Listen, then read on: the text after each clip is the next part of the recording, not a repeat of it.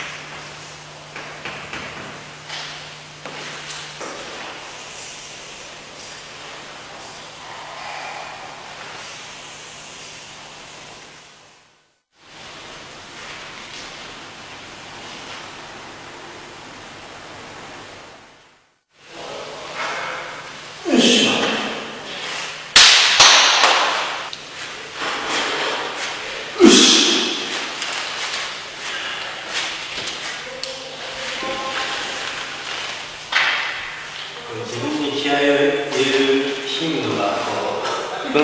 どんどんどん上がってくるとやばいです。ね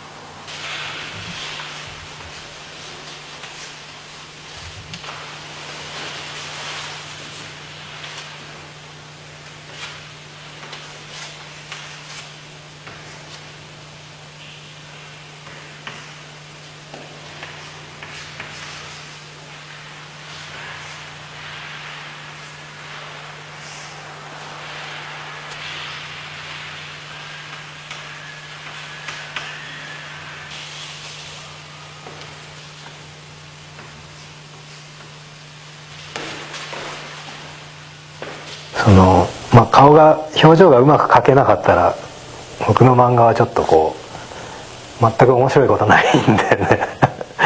そこが命みたいなところがあるから。言葉で描けるんだったら漫画である必要はないなという。そういう本気度みたいのは絶対絵に現れるんでどこまでこう表情なりなんなりどこまで深さが出るかっていうのはそういうとこだと思うね。別にうまい下手じゃなくてその人が本当にどんな顔を描きたいどんな感情を描きたいのかっていうのはその出るんでね。どこまでこうその人はそこで粘れてるかっていうかその顔を描くために粘ってるかっていうのが出るんでね。それは技術じゃなくて粘り度ですね。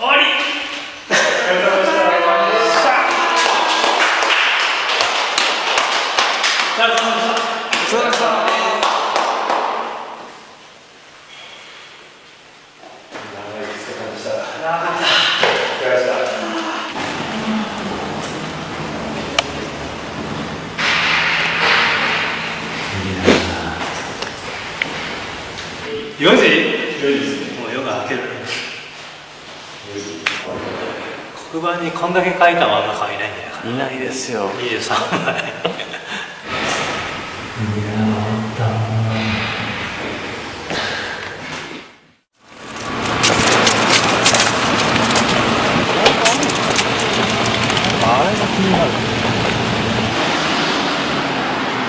来る人があの電車で来て歩いてくるだろうなと思ったんでどんな感じかなっていうのはちょっと見たかった。んですね。と思いますけどね多分。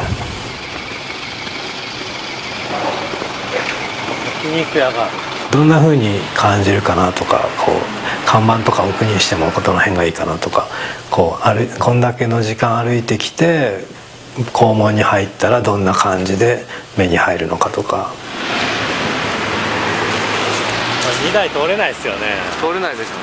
多分トランシーバー持ってそうですよね。あのほぼ2台ずつやらないやらないと。